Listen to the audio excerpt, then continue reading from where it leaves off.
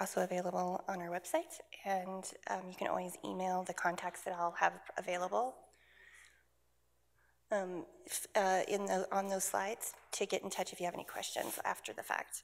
So, in Nevada State um, Publications Dib- Distribution Center was created in compliance with NRS 378180. Um, and it was created to collect all state, county, and municipal government publications intended for public usage. And we distribute them to designated depository libraries within Nevada. So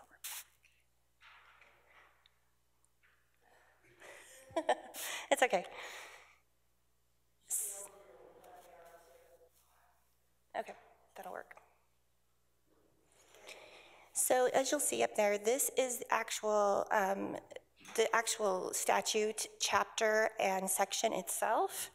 Um, and that, as you can see, is a lot of words and a lot of reading. So I'm going to just give you the nutshell version, which what that basically says is that every state agency, as well as county and city agencies, are required by Nevada law to provide copies of their publications to the SPDC. And we will, I will go over later about what some of those are. Um, the documents must be in digital format unless they are only available in print, in which case uh, the state publications must be provided with 10 print copies, and the county and city agency uh, documents must be provided with six copies.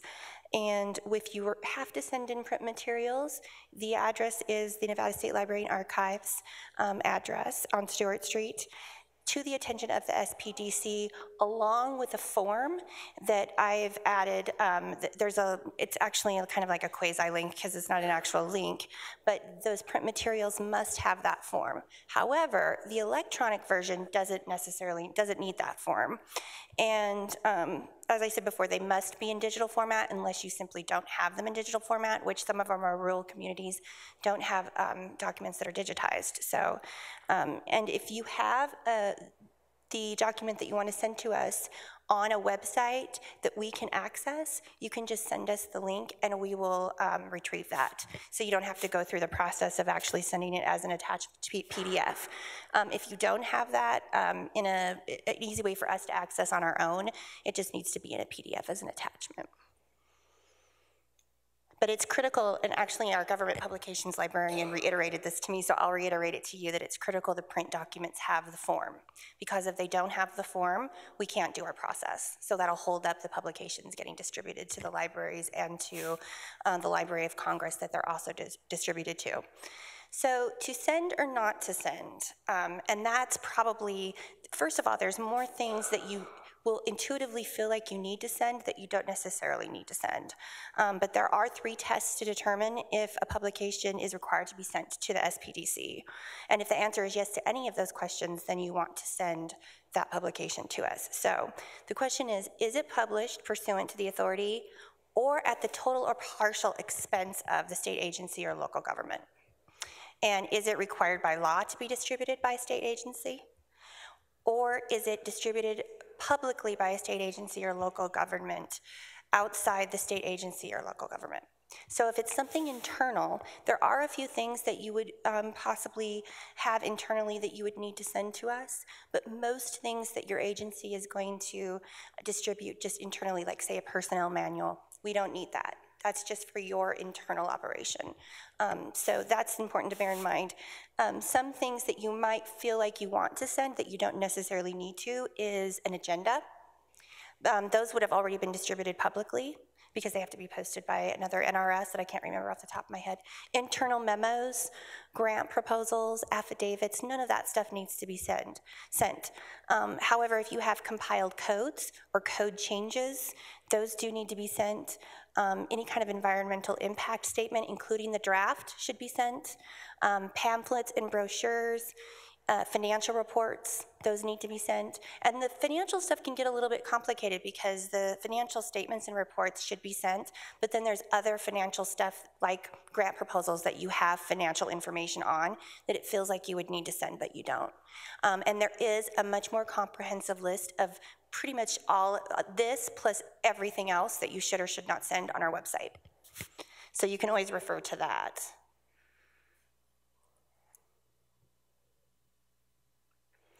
how we retain documents is they're first cataloged at the state library, and we keep two copies. One is a circulating copy, the other is a non-circulating stored copy um, that would need to be accessed by a staff member. Um, and that's for preservation and also to keep a, um, a well kept and preserved copy in good condition.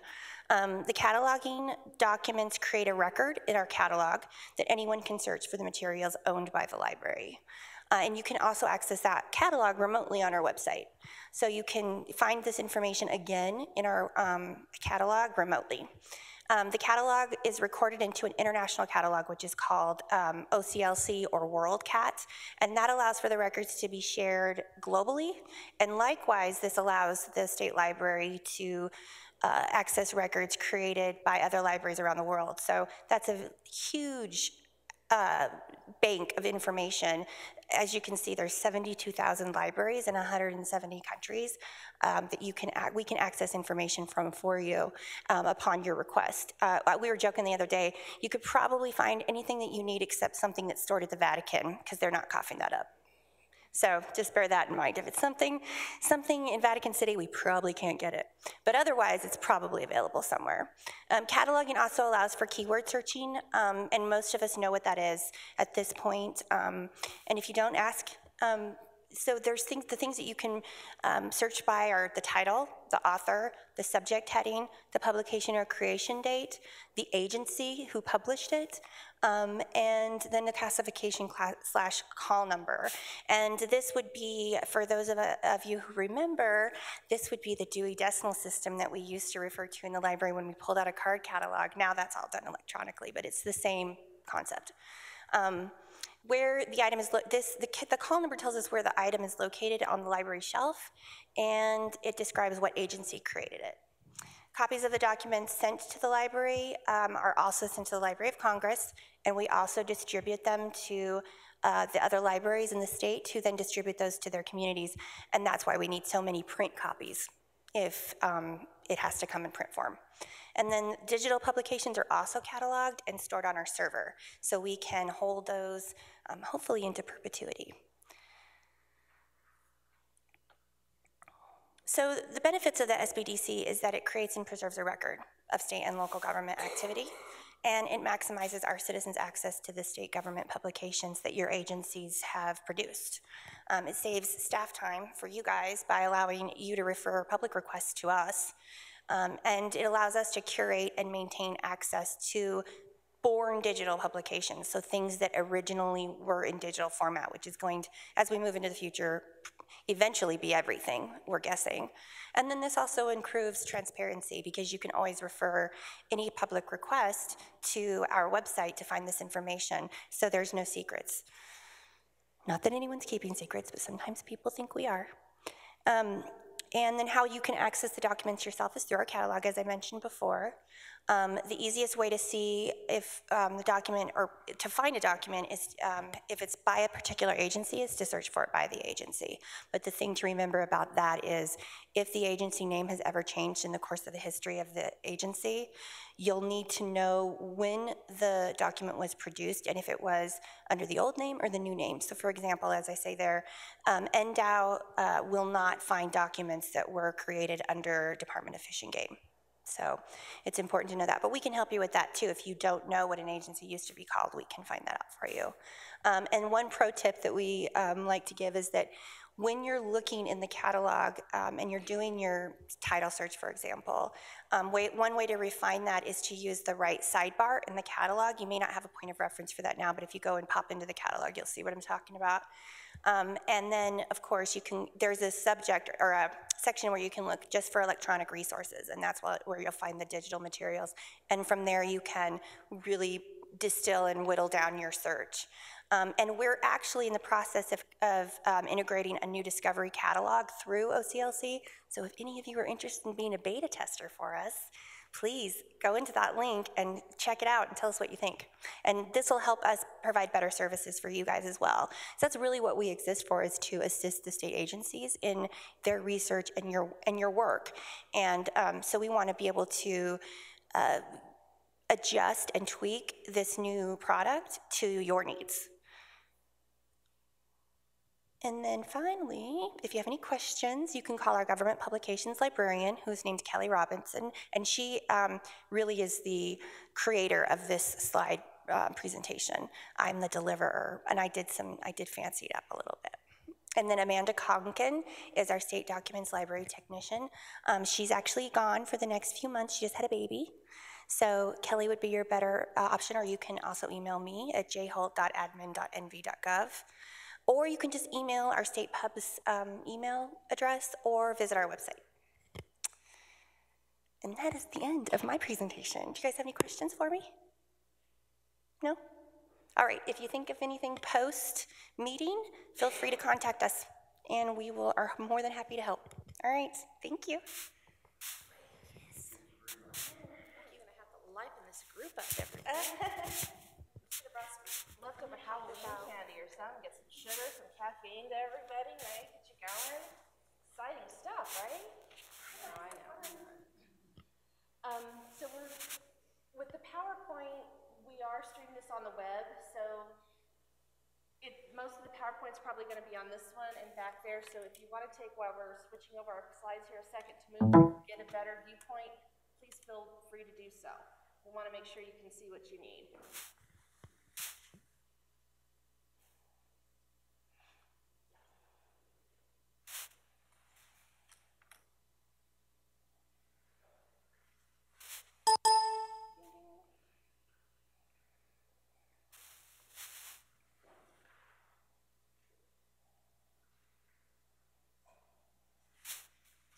Kind counties do we have represented? I know we have Lyon, right?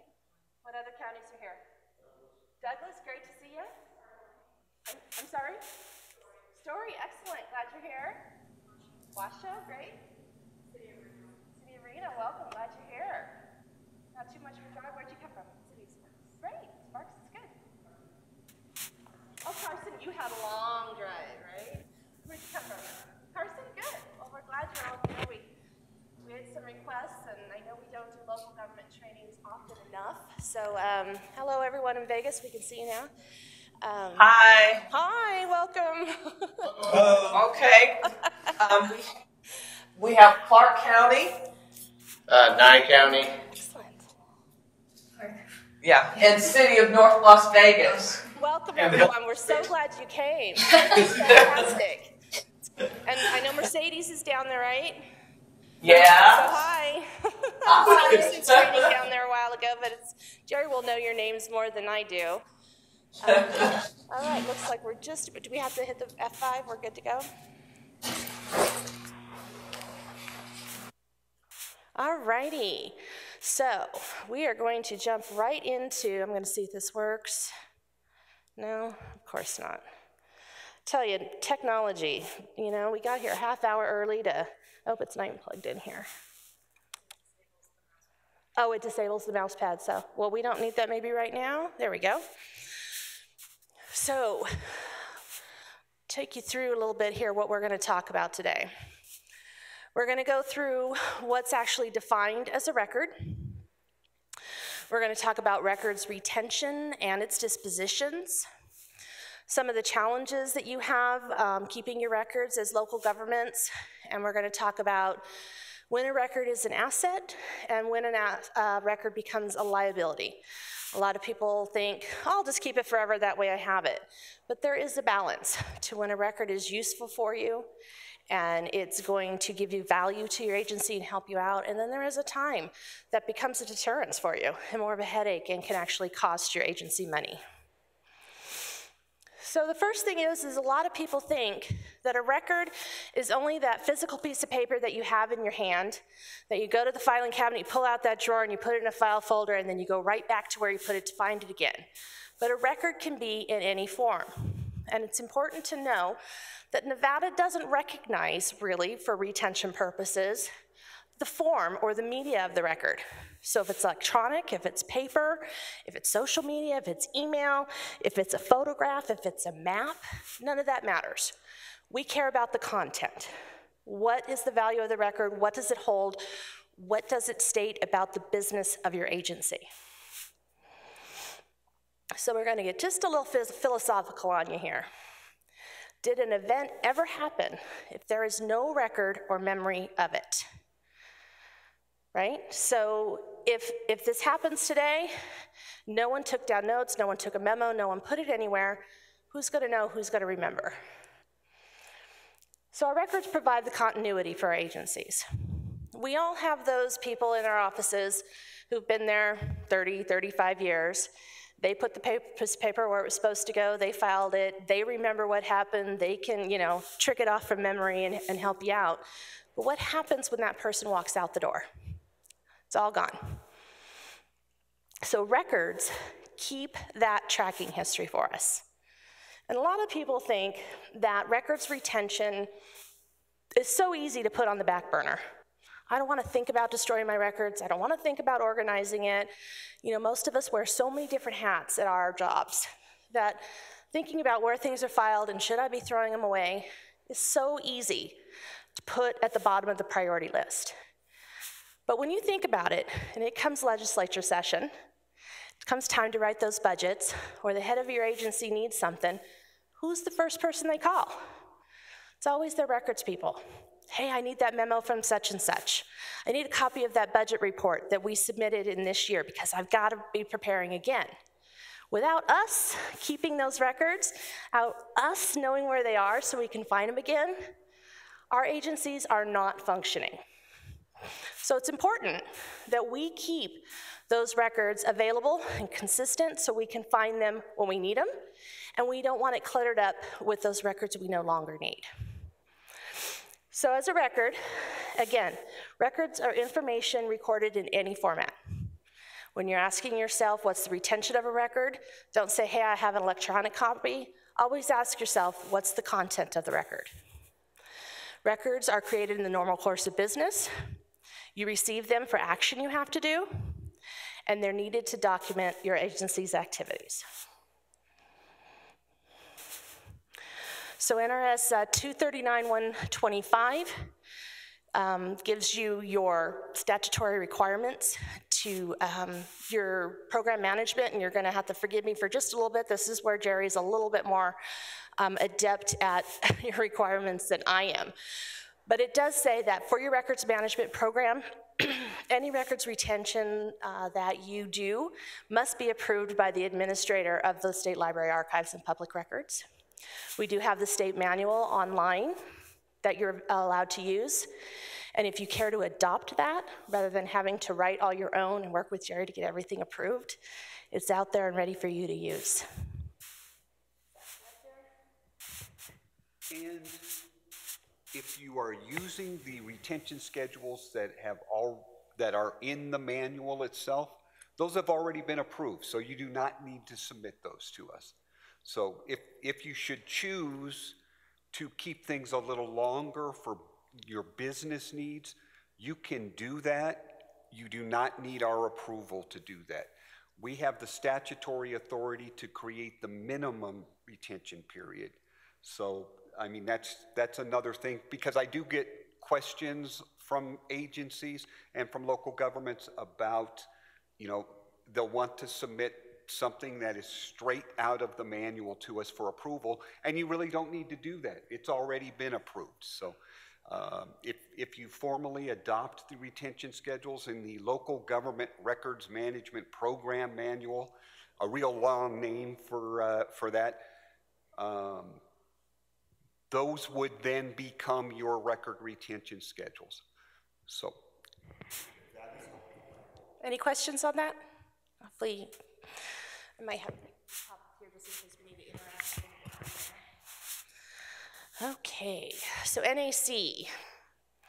So that this, this gives you the authority to dispose of your records. You do not um, have to contact us and ask for permission. If you're destroying your records in accordance with the approved records retention schedule, that is your legal authority to dispose of those records. You don't need any further authorization from us. Okay, what's an official record?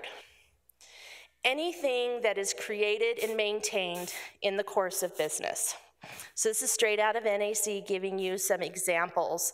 Um, documents, papers, ledgers, maps, charts, blueprints. This isn't inclusive or exclusive. So again, when you're asking yourself, is it a record or not? Did I receive it in the course of business? Is it necessary for me to track what my business is doing? Do I need to take action on it? Ask yourself all those kinds of questions. Did it switch? Um, so then we have non-records. Non-records can be disposed of at any time. You do not need a records retention schedule to get rid of them. So as Joy was talking about, published materials, although they're required to go to the library, they do not have a have, excuse me, have to have a retention schedule. So they're considered non-records as a retention schedule. Once you transfer them to the library, to the library and archives for permanency, you can get rid of them at any time you don't need them. Uh, informal notes you don't need, brochures, newsletters, magazines, um, drafts, most of your drafts. If you're doing a report or a letter, we only want the final copy. Everything else you can destroy. Just keep the end product. One thing, one thing, Sarah, the only caveat there is if you bring a draft up in a public meeting, it has now become a record. So that's, that's just one thing to be cautious of. Thank you. Um, convenience copies. This is where a bulk of your records are going to come from. So if you make a record, you create a supply request and you send it off to your boss for final signature. Your boss sends it off to the administrative assistant who's actually going to process it. Each one of you have kept a record. Only one of those. The final end product is actually the official record that needs to be kept per retention. Everybody else's are convenience copies. You have them because it's easier for you to have them at your fingertips when you need, what did I order last year? What am I gonna order again? What was that number? How much was it? But those should not be kept longer than the official record. Absolutely not. It's gonna create a uh, litigation nightmare if you keep those longer than the official record and you can get rid of them at any time. They are considered non-records. So as soon as you don't need those copies, clean them out. Get your drawer um, straightened out. Anything else? Ad hoc reports. That's a big one.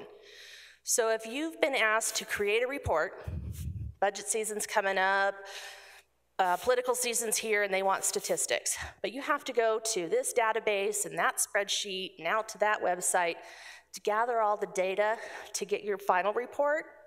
The final report is your record. That's the only thing that has to be kept per retention. Everything else that you pulled from to gather and all the little reports you had to get, non-records, you don't have to keep them. As soon as that final report is done, you have what you need, get rid of all the extra stuff.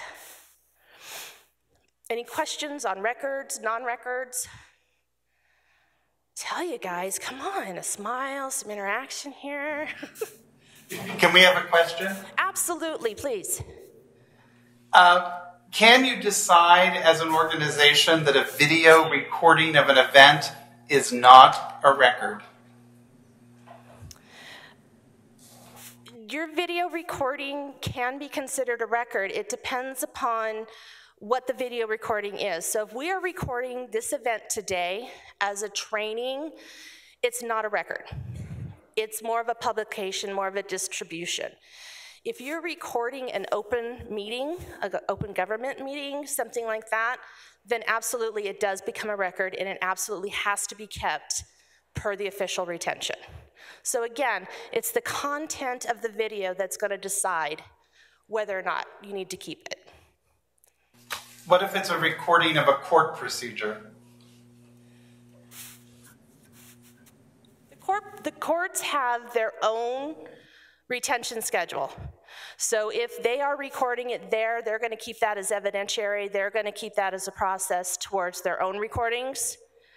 Um, is that true of local governments? Yes, um, we, we don't have uh, statutory authority over the ju- judicial branch, so that's where we, we can assist them if, if they ask us, um, but we do not have authority over them. So that would, that's really a question best asked of the administrative office of the courts.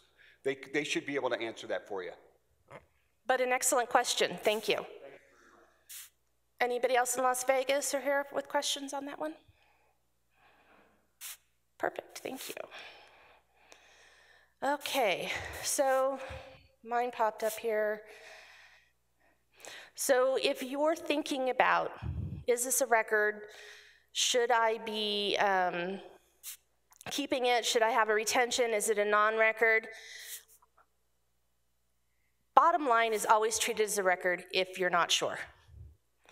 We don't want you going to records jail because you destroyed a record too early. Nobody wants that, right? Because we all know we have to keep it the minimum amount of time. So when in doubt, call state records, call us, give Jerry a call, send him an email. We'll help you look at that document, we'll help you understand its content. If there's a retention that already exists, we're gonna help you find it. And if not, Jerry will work with you to make sure that we create something that applies to it. So you do have authorization to get rid of it. One of the biggest confusions that I have when I teach these classes is people think if it's not on a retention schedule, it doesn't exist, so I can get rid of it whenever I want. And it's the exact opposite. If it's not on a retention schedule, you don't have authorization to destroy it, so you have to keep it forever and ever. That's where you need to work with us. Let us help you get a retention. Let us help you do that research to find the appropriate amount of time to keep it so that you can get rid of those records you no longer need. And as Jerry mentioned earlier, we do set the minimum retention. You can keep it longer if your agency deems it necessary. Again, you just got to find that balance between asset and liability, which we'll go over. We recommend that you don't file non-records with official records. When it comes to cleaning house and doing your dispositions and getting rid of your records, it's good to know where just your official records are and that everything else is a non-record. So that, and then when you go to find records, you're not having to go through extra paperwork. You have just what you need. Anything else? Perfect.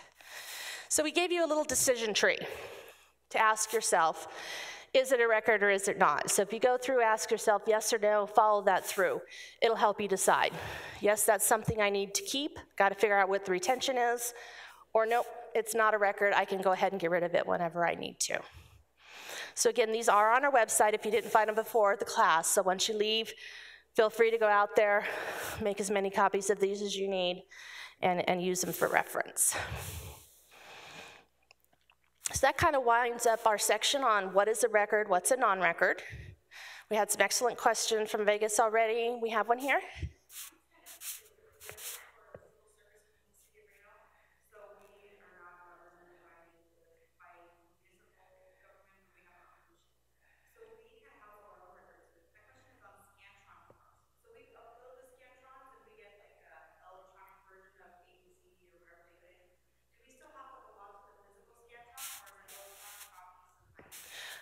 It's the same with, with 719 Electronic copies as good as yeah. So we have a, a, question here in Carson City who's asking about Scantron forms in particular.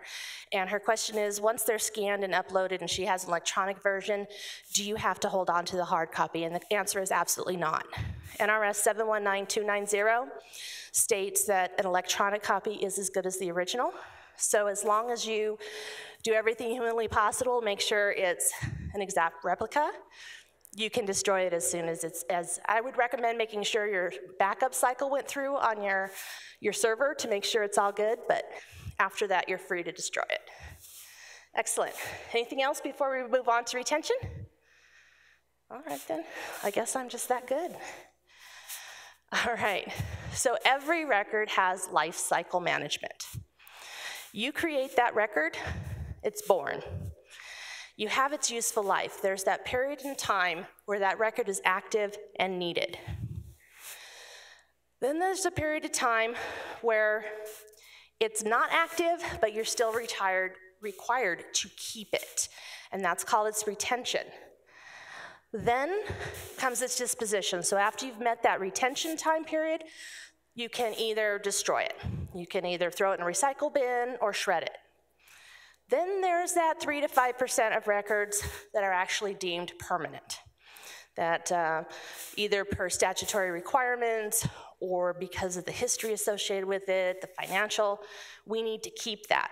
as a record of what the state has done at that period of time. So that life cycle management becomes a key player when we talk about records retention. As trustees of the state and um, its records and information, it's our obligation to make sure that the records we create are available throughout that entire life cycle. When we work with you to create these retention requirements, we research federal requirements, we research state requirements, we talk to you and ask you, what are your business needs? Are you audited every two years, every three years? Are there any investigation processes that we need to know about? We want to know your best practices. You are in your offices, obviously, more than we are. You are the knowledge experts. You're the ones to say, hey, I go to that drawer at least three times a year for four years. We need to know that when we're helping you. We're also going to look at other states. We're going to kind of reach out there, do some research, and understand why they keep their records as long as they do. All that comes into play when we help determine your retention schedules. Then after that, we highly recommend consistent and systematic retention of your records. So this helps you with public records requests and subpoenas. If you destroy the same types of records at the same time every year, you are completely within your legal authority to tell anybody who asks for it it has been destroyed per retention. If you're not destroying that, you have to give that information up. So that's going to cost you time and money when it comes to public records requests and subpoenas. Now, if you are getting subpoenas and you do go to court and you have some information but not other information, the courts do not look favorably on that. They tend to look at that, that you're intentionally hiding information from them. So instead of taking you at your word that, oh, yeah, they've been destroyed per retention, they're going to send you back to your office to have you do more digging because they're wondering why some records are destroyed sometimes and others are being destroyed, but not consistently. But if you can show documentation, beginning of the fiscal, beginning of the calendar, we destroy consistently and systematically, the courts are going to go, okay, we believe you. We understand that you do this all the time. Most likely, they're not going to ask you to go back and do more research. So it's going to save you a lot of time. It's going to save you a lot of money. And by making sure you just have your official records and you just have the ones that are still in their active life cycle, you're going to save so much on your lawyer fees because it's that much less that they have to go through and research and catalog and be ready to present. Big cost saver being consistent and systematic. So balancing your assets and liabilities just ties in what I just spoke about. So if you are making sure that those convenience copies are destroyed, in accordance and not, you know, when you no longer need them and they're not kept longer than their official documents. And you're making sure that you're doing consistent systematic destruction, that only your records that are in their active life cycle are available. Your agency will be at its prime. You'll be able to access the information when you need it, you'll be able to find it when you need it, and you're not holding on to superfluous information. The longer you keep those records, the more of a liability they can come to you.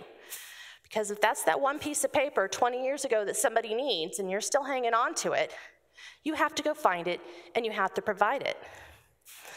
Another thing that I just recently learned, literally in like the last two months, is that if you have a natural disaster at your agency, it's flooded, you have to go through and pay to have those records recovered before you can decide if they've been past retention or not. So let's say 50% of your documents should have already been destroyed. But then you had a flood in the basement of your office. You now have to pay a company tens of thousands of dollars to come in and try to restore those documents back to a level where you can make sure that, yep, those are the ones I should have already destroyed. Get them destroyed when they need to. When they're up to the retention, clean them out.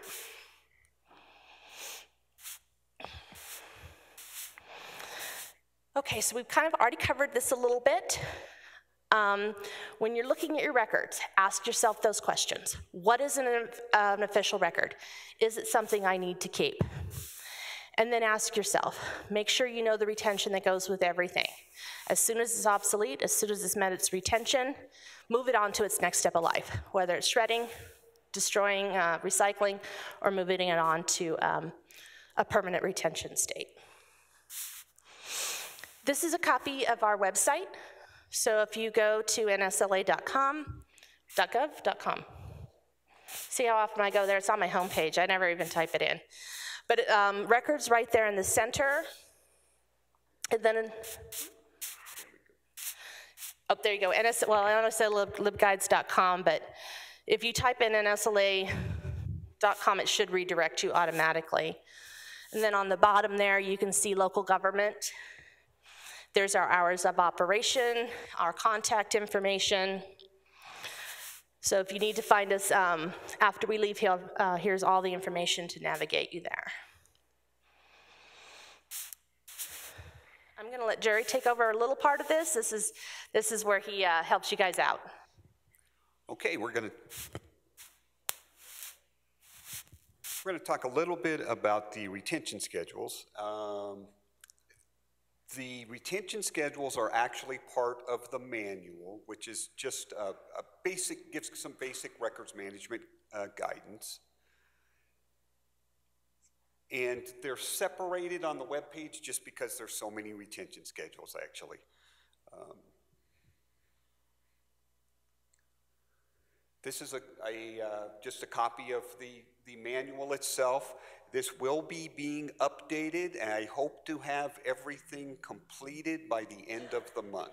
That's kind of my goal.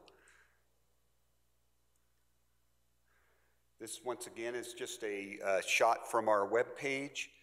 The, uh, the schedules are broken down into one 300 plus page schedule and then also by their functionality. So if you, if you click on the, uh, the tab in sort of the middle of the page, that will take you from the administrative records all the way down to zoning. So basically you can kind of, it's, it's a little easier to navigate.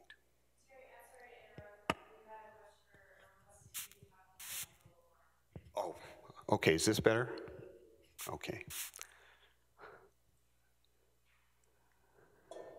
And, and this is just once again, uh, this is sort of the, uh, the shot of the functional list. And uh, as I was saying, these will be updated at the end of the month. The elements of the schedule. We have what we call an LRDA, and all that is, is, is really, it's just a unique identifier that uh, each record series have, and it, it stands for Local Records Disposition Authorization.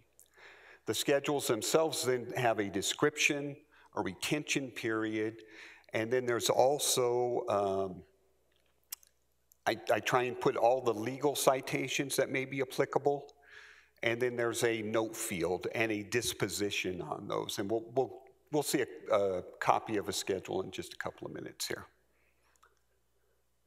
And we're looking for three elements. We're looking for an event, which is the trigger that determines when the record becomes inactive. We're looking for the time period, which is the length of time the inactive record must be held before disposition. And then we're looking for an action, which is what happens when the time period is met. So here's, here's just an example of this. This is uh, retain these records for a period of three calendar years from the end of the calendar year in which the grant application was closed or denied, and then the dis disposition is destroyed. So we have the time period, we have the event, and then we have the action. And then there's these are just some different examples of events. So we can have a, uh, some records are closed at the end of the calendar year. Some are closed at the end of a fiscal year. Some, uh, such as case files, may be closed when uh, the case is closed. So that's, that would start that retention period. Some are superseded, and then we do have those ones that are considered permanent records that you cannot destroy. And this is a copy of a schedule. So we have uh, a title, which in, on the top one here, if you can see that, is accident reports. We have a, a description, and that's not all inclusive. There may be some things in there. That's why I always try and put may include, but is not limited to. Um, then we have the minimum retention period. We have legal citations, which is part of the reason why they're kept for that length of time. In this instance, um, it's, it's very difficult to see, but it's, it's actually based on the statute of limitations.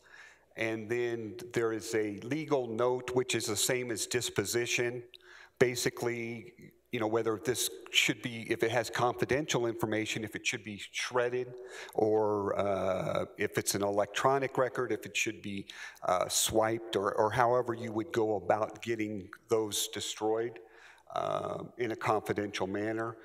And then there's also a note, and that's not all records will have those, but in, in this instance, there is a note field there. So, and here's some important things to know.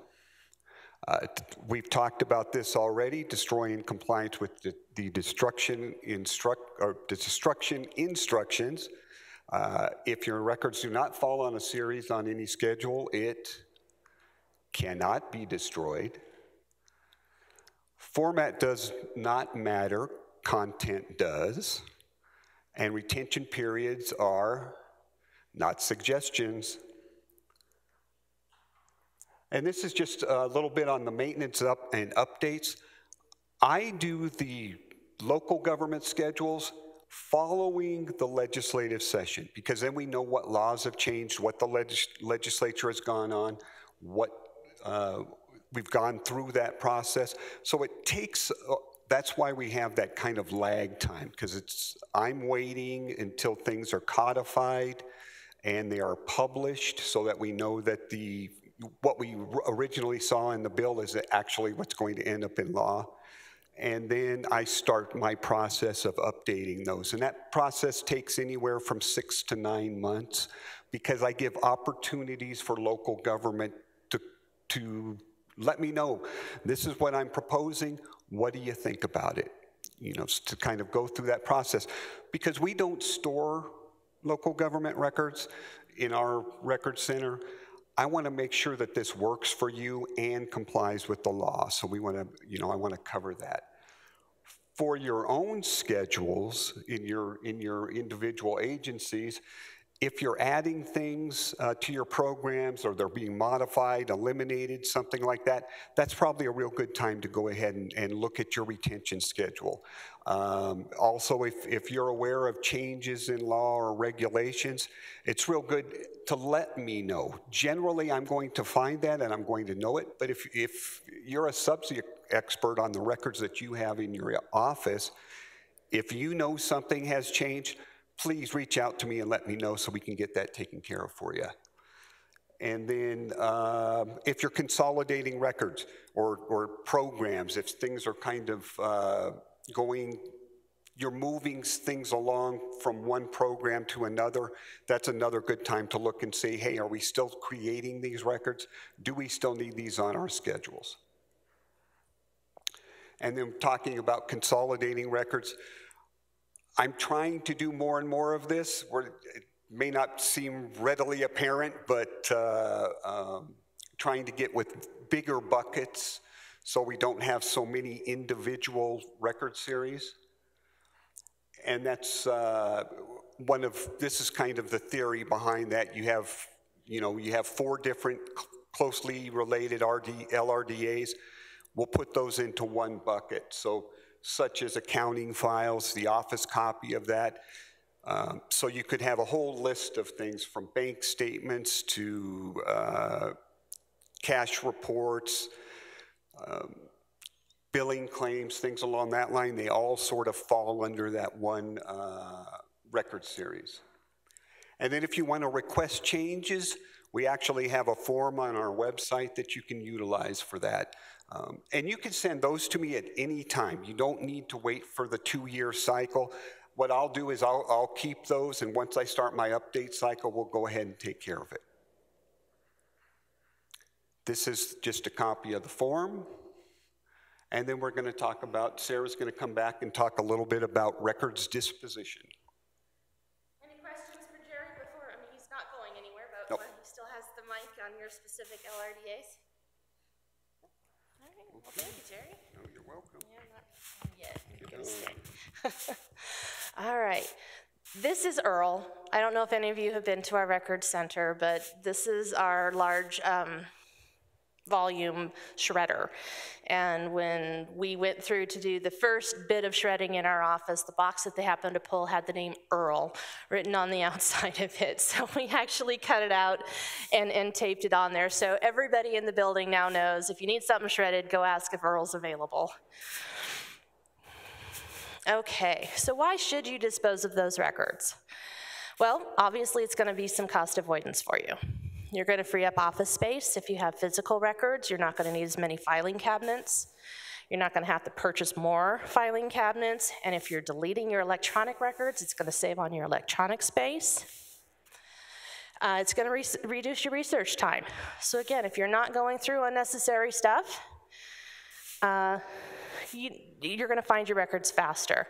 It's, I don't think we put it in here, but it's estimated that 50% of the records that we create and the records that we maintain are what I lovingly call the crap we don't need. Right? So if you have all those people keeping the same copy of that invoice that you sent out, but you only need one, why are you keeping it? Why are you having that storage space in your drawer or on your filing in your, um, your, your personal drive or out there on your shared drive and having to go through, oh, nope, don't need this right now. Get rid of it. It'll save you up to 50% or more sometimes of your storage space. It's going to allow room for those new records. We create, and I don't think the slide's on here either, and I forget the number, but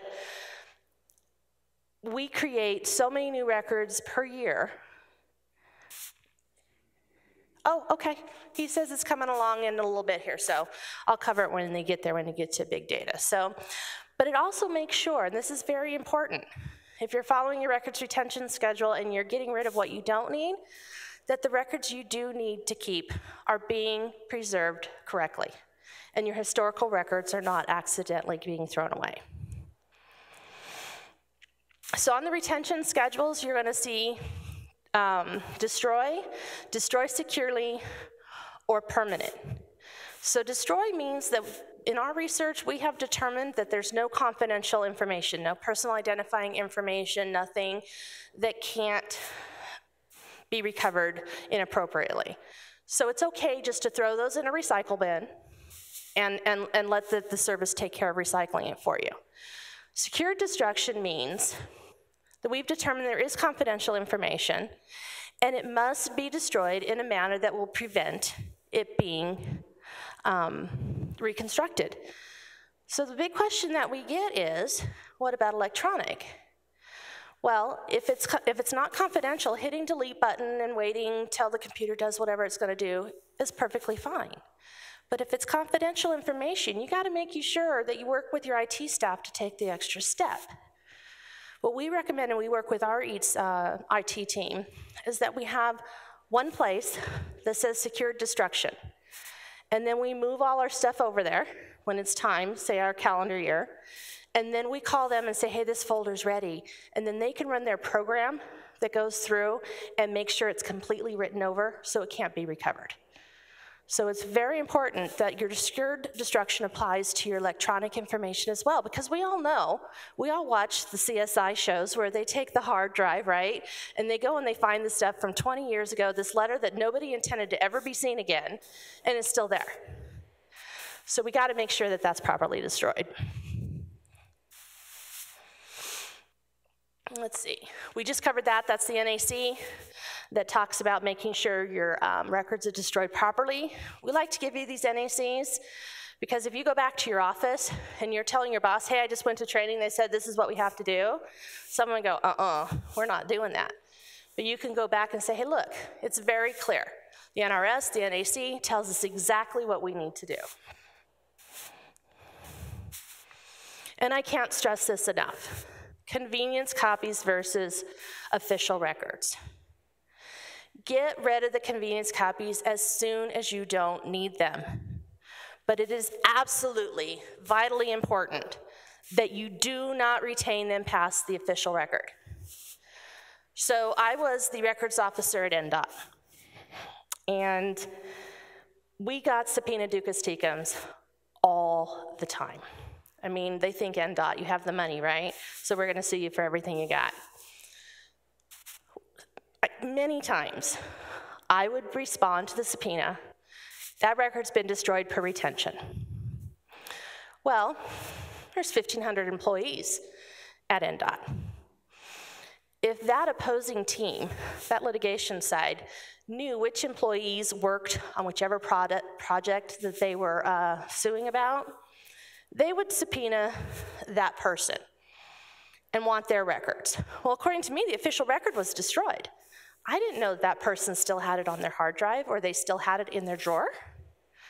So that person would have to go to court and sit on the witness stand and say, I'm here costing my agency more money and time, headache and heartache because I'm a hoarder.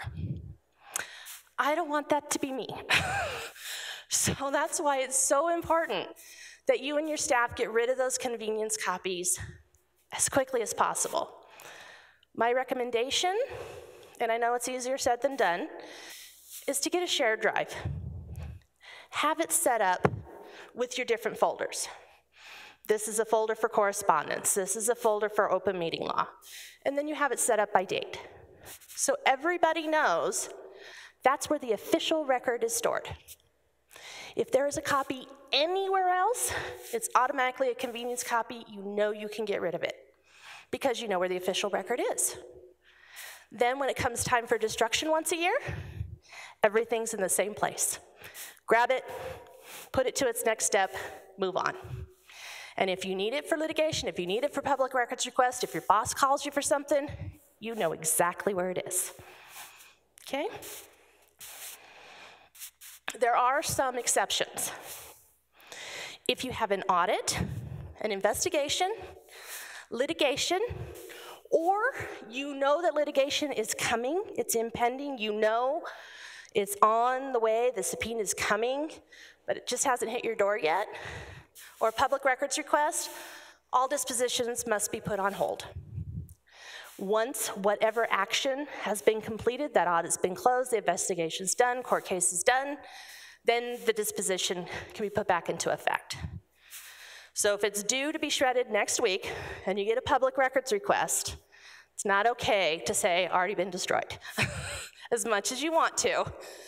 Um, you can't do that. Everybody remember Enron? And Arthur Andersen, their accounting firm that helped him out, you know, they were fudging the numbers, making things not quite right.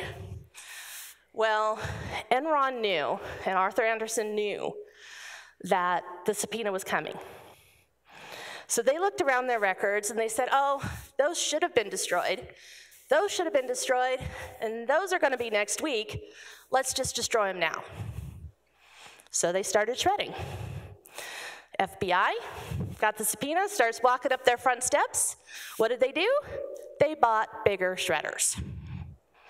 Well, we all know that Enron no longer exists and Arthur Andersen no longer exists because you just can't recover from something like that. So it's very important. Everybody jokes when I say records jail, but it's a thing. you can have up to a Class C felony if you destroy records early.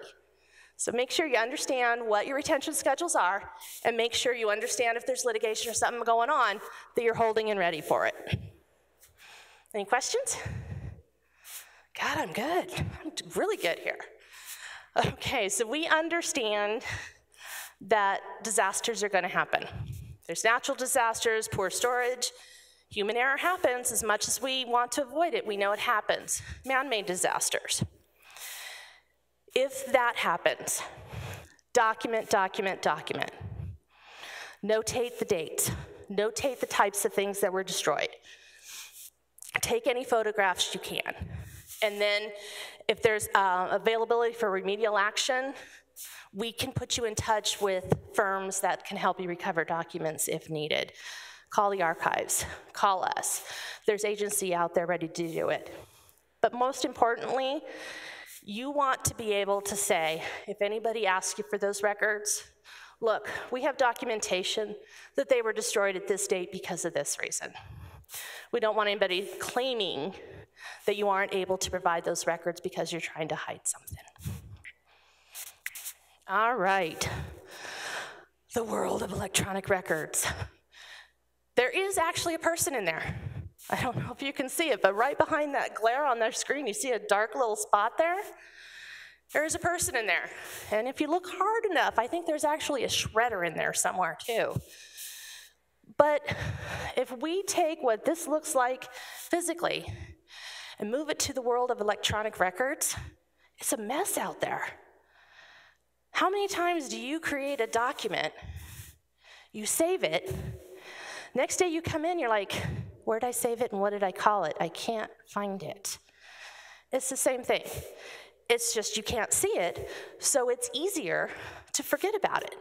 But the same process applies to electronic records as it does to our hard copy records. We don't want to be buried alive. You don't want your electronic world to be like that show on TV where they have this tiny little path to get to the kitchen, to their bedroom, and to the bathroom. And then you can't find anything else.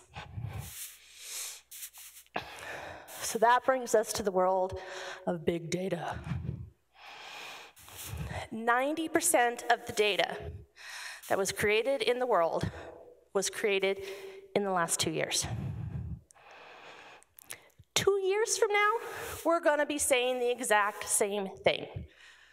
That is how much electronic data we are creating every single year. And if you remember what I said, 50% of that is the crap we don't need. So, how do we get around that? Well, first, we have to understand what big data is. It's closely associated with unstructured data and large data sets that are difficult to find. So, but you gotta understand that it's not just unstructured and it's not just structured. I'm just, not a, okay. So WTF, we all know what that means, right? Where's the file? Where did I put it? he needs it, I created it, what the heck did I do with it? Well, structured data is things like an access database, it's an Excel spreadsheet, it's if you have ApplicationXtender or something, records management system like that, it's something that you could put a query on. Something where you can define what you're looking for, enter in a word, and it's gonna help you locate what you need. Unstructured data is everything else. So you have your little file tree, and you create your spreadsheet, you create your access database, you create your Word document, you name it something that's so cute and meaningful and you'll be able to find it, but then you can't.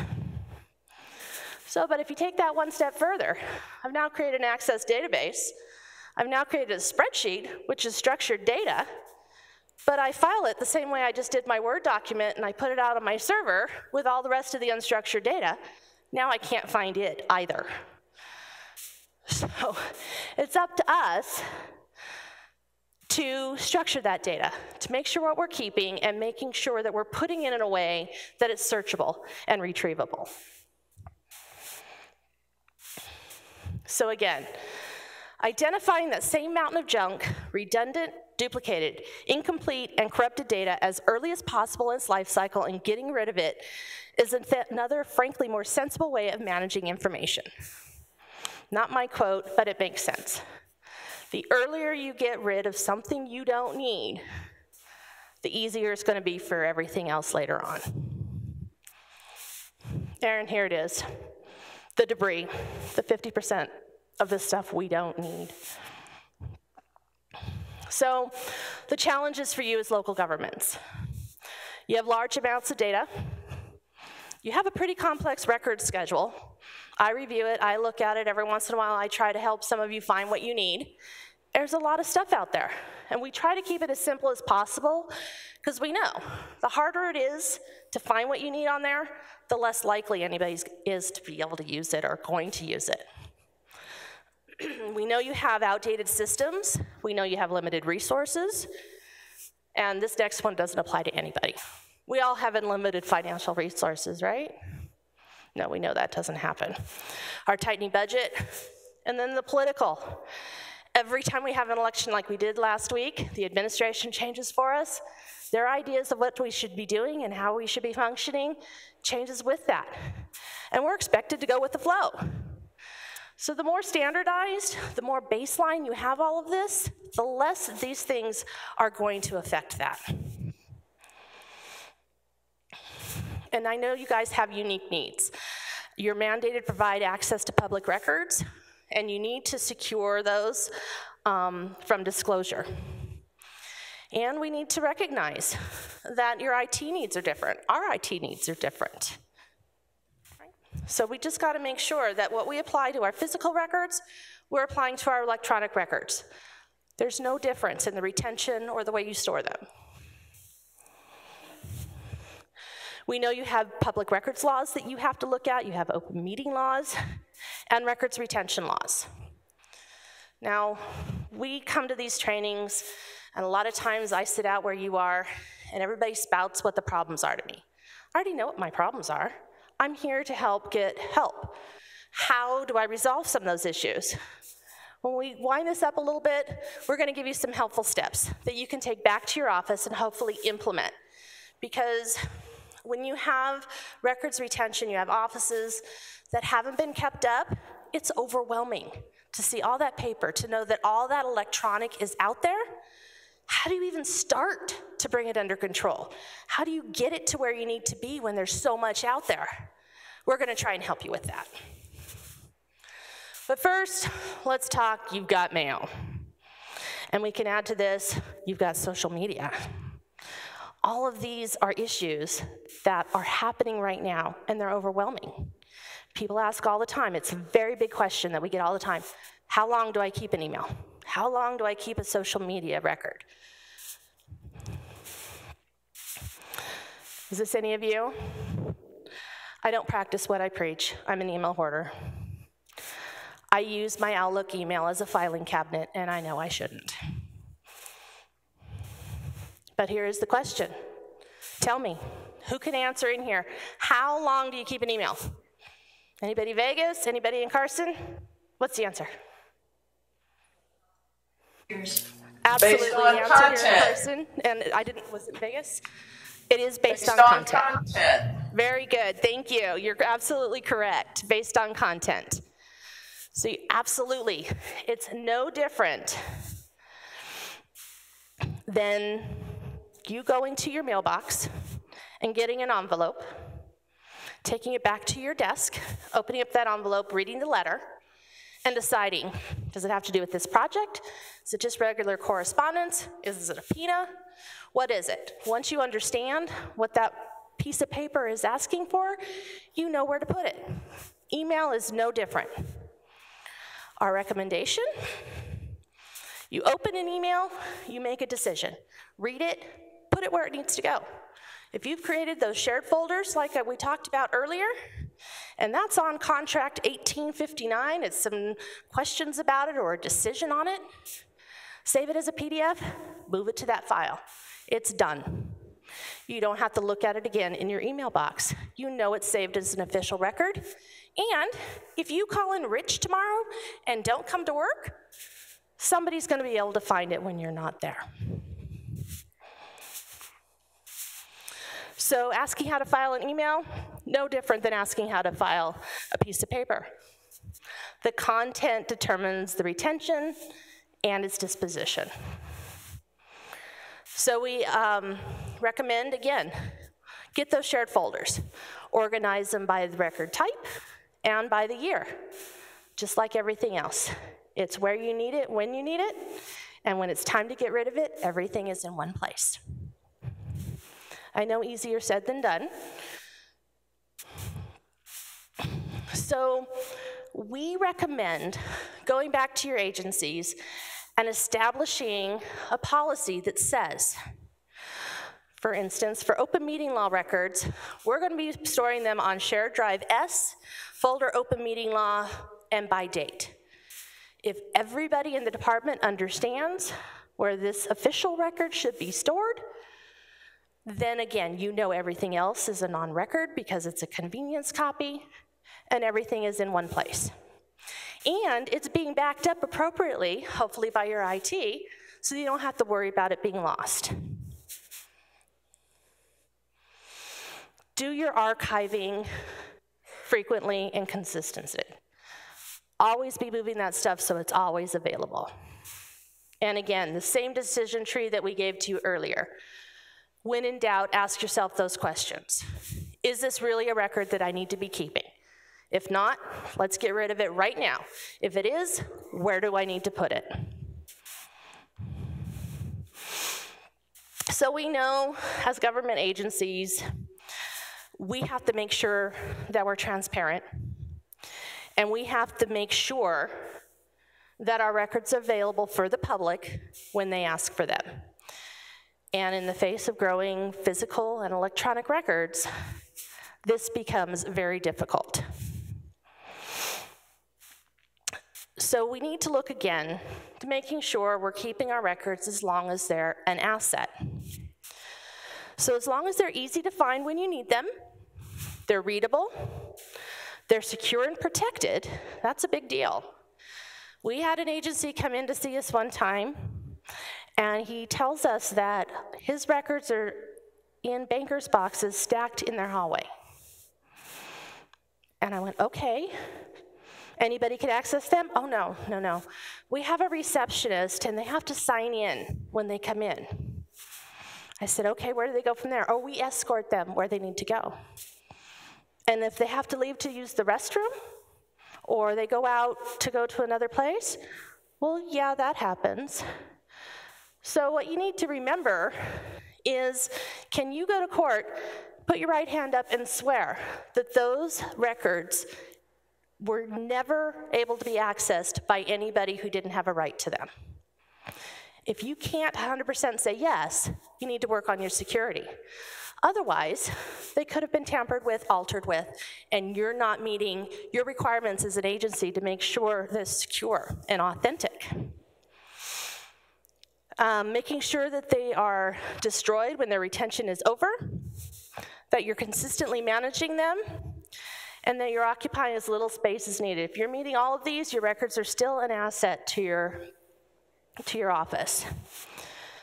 They become a liability when they're inconsistently managed, it creates legal challenges because the court assumes malicious um, destruction or contempt if you're not destroying the same things at the same time. If you can't find them, what good is a record if you can't find it? We all know that one. An average employee spends 11 hours looking for records. That's a lot of time going through things that don't need to be there to find what you need and unreadable. This doesn't just apply to the paper records that get worn out over the years, start being sun faded, and you can't read them. You have to remember that they need to be migrated forward through the media. We've got a picture of a floppy disk up here. I bet you cannot find a computer anywhere anymore that's going to be able to read whatever's on this floppy disk. So if somebody's asking for something, you hold up the disk going, yeah, we have it, but I can't get it for you. Same thing is true right now with CDs and DVDs. When you go down to the computer store to buy a new computer for yourself, how many of them come with a DVD or CD drive anymore? It's next to impossible. Everything's on the flash drive, everything's on the external hard drive. What's the next step? So, as you're looking at your records, you're looking at your data management programs, make sure you're migrating them forward so that when you need to access them, you have the right technology and the right format to be able to get to, get to them. You want to make sure they're uh, protected from authorized access, unauthorized access. We just talked about that. And making sure um, records that you have, they're subject to disclosure. You have to give them up. So if you don't have them and you got rid of them appropriately per retention, Look how much time you just saved saying, already destroyed per retention versus it's going to take me 30 days to gather all that information you need. And then hand it over to your lawyers who deem that 50% of that are copies. Just keeping what you need, getting rid of it, saving you time and reproduction, effort, and costs. Don't be a hoarder. Okay, so how does this help you? These are our helpful steps. Go back to your office. Step one, take an inventory of the type of records that you have and determine what is our official record. Number one, make sure you have that policy in place. What's my official record? Where is it stored? Number two, get rid of those convenience copies. Right there, 50% of the crop should be gone. Number three, look at your official records, go back to your retention manual, and figure out which LRDA number is associated with each one of those records. Once you know that, look at the records and determine which ones have already met their retention. How many of those records should have already been destroyed per retention? Get rid of the ones that are past retention. You no longer need them. Clean house. We're giving you permission. Get rid of them. Repeat consistently and systematically. If they're fiscal records, first week of July every year, have a pizza and sweats party. It's time to go out to the storage unit and throw away our records. If it's calendar, right after the Christmas holidays, let's clean things out. You're going to get at least 50% more free space. You're going to have less time for research, and you're going to have less time for discovery. That's the end of our presentation, but I just want to say, we do records retention every day, all day, while we're at work. That is our primary goal. We know you all wear many different hats. This is not the sole thing that you do every day.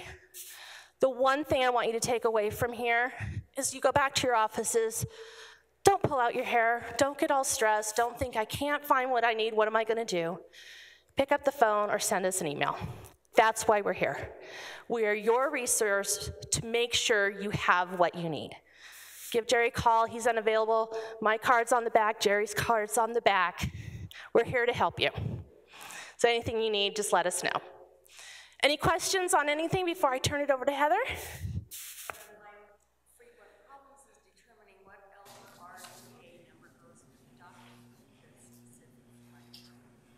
Absolutely. The question is, one of the frequent problems she has is which LRDA number goes with the document she's looking for. Call Jerry. He's familiar with those records. He writes them. If he's not for sure, he'll have you send you a, him a copy of it. We're going to sit down and we're going to research it. We're going to help you find that answer. One thing I alluded to but didn't address is social media. And I know that's a big upcoming issue with a lot of us. From our aspect as the State Record Center, we recommend social media as an outgoing informational service only. We don't recommend using it as a communication service because then you have to worry about capturing it and making sure you're getting those screenshots in time of what's happening. So instead of doing that, if you have a, a website or a Facebook, direct your users back to your internal email. If you have a question, if there's something you need, you want to make a comment, please direct it here because then you already have a process in place to capture the information. So that's our record on that, our recommendation. But again, if you do end up doing correspondence, if it does become an official record, look at the content.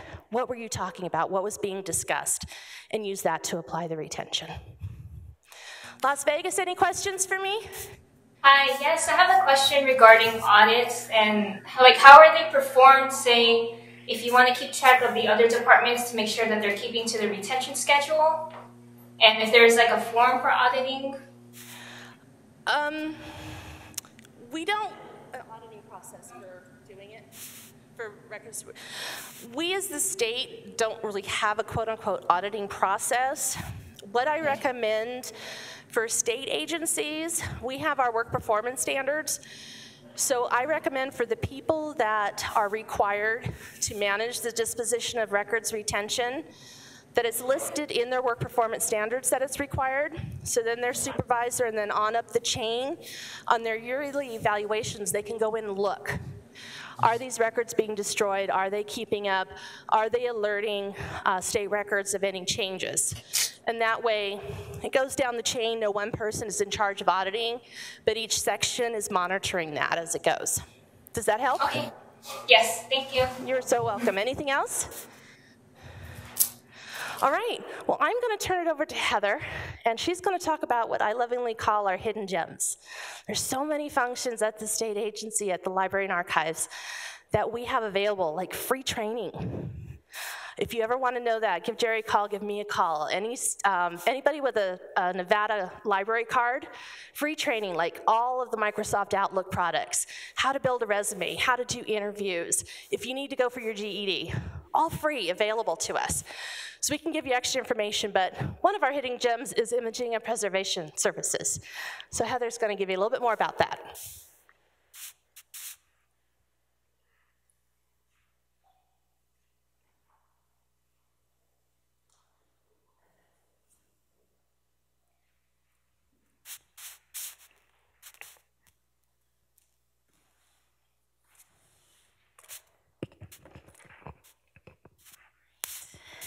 Thank you, Sarah. Like she said, my name's Heather. Um, I supervise the imaging and preservation service. And um, first, I'm going to bounce off of what Sarah was talking about and big data. Uh, because recently I'm doing some research on big data, and a Stanford study said that globally we are creating an exabyte of data every year. That's 1 million terabytes of data. That is a lot. And when you think about half of that is stuff we don't need, that's half a million terabytes of unimportant data is huge. So definitely something to keep in mind um, as you're working through your records management program. So what is Imaging and Preservation Services, or IPS? Um, we offer digitizing and microfilming services to all of the state agencies and then all to the local government agencies. So our services is available to you. What we offer. So first are our scanning services. Uh, we provide large quantity scanning of paper documents using our, that's not to show up. In the bottom corner, you see our Canon scanner. Uh, it's a uh, scanner that pulls documents in at a quick rate, um, uh, scanning pages in quick succession. Then the, the next thing that we're able to do is we can digitize microfilm and microfiche. So say your agency has records that are on microfilm or microfiche that you ha don't have a reader for anymore, but you want to be able to access them on a more regular basis, then you can bring them to us and we will digitize them for you using our um, high def FlexScan um, scanning system. We have the ability to photograph uh, the various sizes of photographic film, including large format, medium format, and 35 millimeter um, negative film, and also slide film. This is helpful for a lot of agencies who have a lot of historical photographs that are in different sizes and in different conditions uh, that we can digitize for you so that you can again, have access to them that's you know quick and readily available. We also have the ability to digitize books. So you might have ledgers um, or publications that your department or agencies put out. And we utilize, it's a Zeutschel book scanning system where there's two independent tables that um, are at the base of the scanner. The book gets placed on the two tables so they can move independently um, and accommodate for the binding then the piece of glass, this is the one in the middle. I feel it's kind of like the Brady Bunch, you know, squares. um, it's the one in the middle to the right with the glass um, piece that you see uh, upright. That comes down, it flattens the book a little bit, and then we're able to take a nice, clean, flat scan of that book without damaging the binding or having to cut the binding in any way to, say, run it through a scanner. And then finally, uh, if you have large documents, blueprints, maps, anything that would have been printed above and beyond, you know, an eight and a half by 11 or a, a legal size piece of paper, we can scan documents up to 44 inches in width. So the, the scanner in the bottom right corner, uh, that is our Contex scanner, which can allow us to feed the document uh, through the scanner, and we're able to give you a nice, clean, digitized copy of that large some, most, most of the times unwieldy document. The other side of our services is our microfilming services. These become important if you have records, for example, that have permanent retention. Like Sarah and Jerry talked about, with electronic records, you're constantly having to kind of stay on top of those and be concerned about their continued migration to make sure that you're able to continually access that information. The one nice thing with microfilm is you can access it anytime, even when, say, your computer systems are down. And if it's processed and stored properly, it can last between 50 to 500 years. So that's a really long time. Plus, there's a little bit of cost savings when it comes to paper storage versus microfilm storage. Everybody's familiar with the banker's box. Most of us keep all of our records in that. If you take two banker's boxes, all of the records in there will fit onto one small little roll of microfilm. So when you start thinking about your storage space and how much money your agencies could be doling out in rent or what have you, anything that goes into continued document storage, this is going to cost a lot less than storing multiples of these. Because the other um, conversion, which is really nice, 80, 80 of these fit into a banker's box. So you've now taken what would have been 160 banker's boxes, whittled it down to one box. That's a huge, huge savings when it comes to, to storage costs. With our microfilm, we offer two types of microfilm. We offer 16 millimeter, which tends to be for your regular 8.5 by 11 documents. We also offer 35 millimeter, which is slightly larger and uh, is usually used for newspapers or any large documents um, that would be really small when you're when you're trying to look at them on the, the 16 millimeter. And then finally, um, one of the big additional services that we provide is large format printing. Uh, a lot of agencies aren't aware that we have this service available. And we recently got a new printer. We we geeked out a little bit, had a little too much fun, got a new piece of equipment. Um, and we use an Epson P9000. What this allows us to do is we can print large format photographic quality images up to 44 inches in width and up to 100 feet in length. So I don't know if any of you noticed the banner that we have hanging over here advertising the library and archives. We printed that.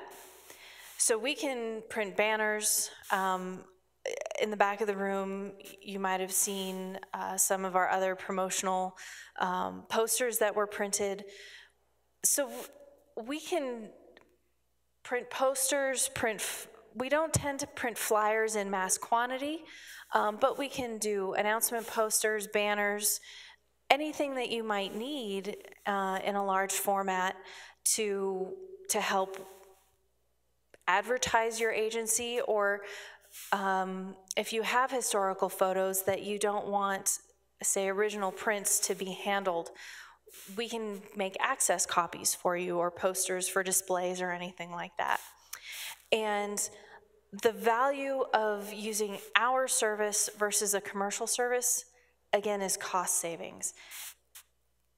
So, did a little breakdown, and based on our current pricing schedule, if you were to digitize 250 images at our specialty scanning rate, which is anything other than an 8.5 by 11 document, that's 50 cents a scan.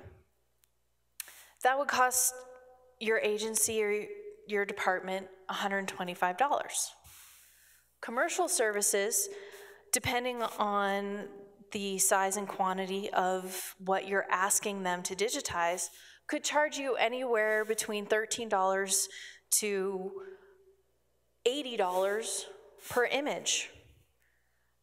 So you go from being charged $125 to potentially 3,400 to $20,000 for uh, digitization services, which to me is just crazy. Um, so that's a huge savings for your agencies. And the reason why we're able to do this is per NRS, we are only allowed to provide you services at cost. So at no point will we be providing anything to you for profit. It is literally only there so we can cover the expenses of our raw materials and uh, the setup that goes into getting a project going. The other example I have, and I'm going to ask for a volunteer from my table.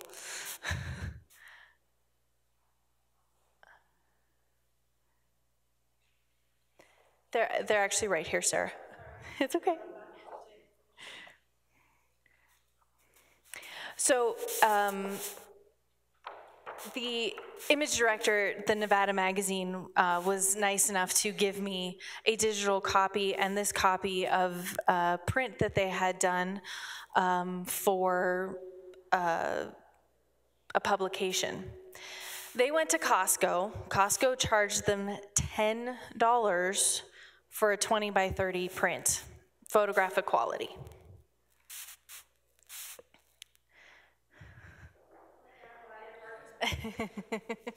I know, I, we need like the Price is Right music going on or something. We took that same digital image, printed it on our printer. It costs us and you a dollar eighty. So that gives you an idea of just the massive cost savings that your agencies could have by using our services. Um, and I, I do see some familiar faces in, in the group. So if you, if you already use our services, you know, please share your experiences uh, with, with others. And, oh, does anyone have any questions? No? Bueller? No? Okay. Um, so one more slide. Hopefully he'll he'll bring it back up for us. This is all of my contact information. Um, unfortunately, they haven't given me business cards yet. So um, my email is there, my phone number is there, and one of the important things that I want to show you is our website, um, which hopefully that'll come up here in a second. If you are interested in starting projects with us, our website is the best place to go first because we have all of the forms that, well, I should say a form that you would need to get a project started with us. And then we also have examples of our annual service agreement, which is a a blanket agreement that um, we have with our customers, spelling out the different things that go on during the project process. And then I also uh, put up a little information about the next step in that process, which is the statement of work, which we draft up and is agreement between us and your agency about the specifics of a project. So there's no questions um, that, you know, down the line, hopefully that will stump us or trip us up in the process, that we've covered everything in the beginning so that the project process um, from beginning to end is, is smooth going. So I'm going to guess it's not going to bring it up for me, but please check out um, the website. Uh, if you go to the main homepage of the Library and Archives website, you'll see up in the menu bar, it says Imaging and Preservation Services. Or if you have this presentation, it's right there for you. So again, any, any questions for me? For Sarah, Jerry? All right. Alrighty, everyone. We want to thank you for the time you took out of your day to come spend the afternoon with us, um, all of you near and far. And again, don't forget about us. We're here to help. So call us with any questions. Business cards are on the left as you walk out. The examples of some of their printing are on the right as you leave. There's a, sorry, Las Vegas, you can't see them, but there is one that we did for the Nevada Indian Commission. They sent us pictures in like three or four pieces. And using Photoshop, we were able to put them together to make this magnificent final piece. So remember that when you go back. And uh, everybody have a great day. Thank you for coming.